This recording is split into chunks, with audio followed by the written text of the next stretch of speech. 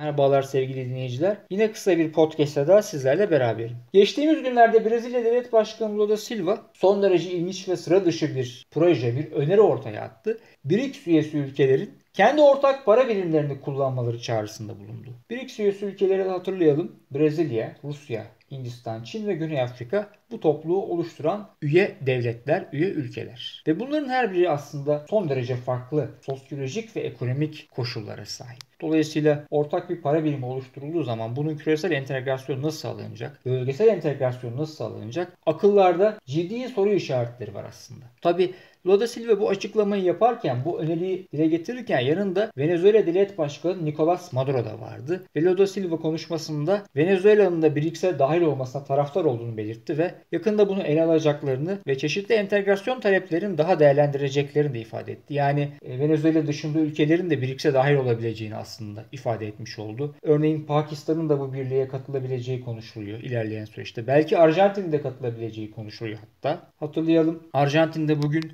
%100'ün üzerinde bir enflasyon var. Ama aynı enflasyon oranı bugün Brezilya'da %4. Dolayısıyla iki ülke arasında mesela çok e, farklı enflasyon farkları var. Yani çok zor bir süreçten bahsediyoruz. Çünkü farklı ekonomik şartlar var. Farklı ekonomik paradigmalar var. Farklı politik paradigmalar var. Ancak bu para biriminin ne kadar gerçekçi olabileceği hakkında biz çeşitli senaryoları konuşurken önümüzdeki Ağustos ayında Güney Afrika'da da bir BRICS zirvesi, bir BRICS konferansı gerçekleşecek. Tabi e, bu arada çok ilginç bir gelişme daha oldu. BRICS'e üye olan Rusya'nın devlet başkanı Vladimir Putin hakkında Uluslararası Ceza Mahkemesi yakalama kararı çıkarttı. Ukrayna'da savaş suçu işlediği iddiasıyla Putin'in hakkında bir tutuklama kararı çıkarttı Uluslararası Ceza Mahkemesi. Tabi Güney Afrika'da Uluslararası Ceza Mahkemesi taraf bir ülke ve Putin bu zirveye katıldığı zaman, Güney Afrika'daki bu zirveye katıldığı zaman tutuklama kararı gündeme gelir mi? Tutuklama ihtimali söz konusu mu?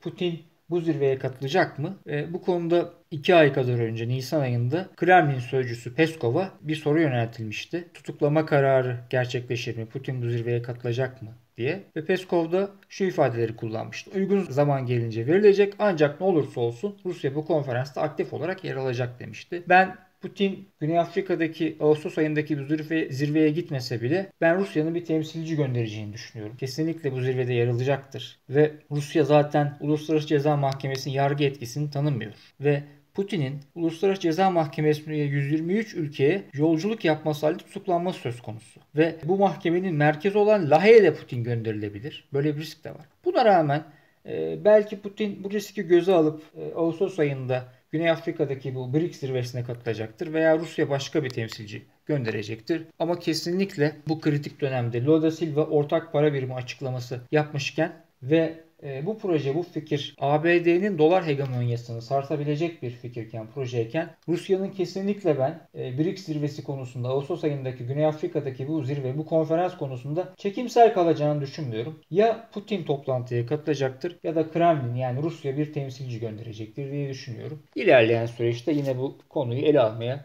gelişmeleri değerlendirmeye devam edeceğim efendim.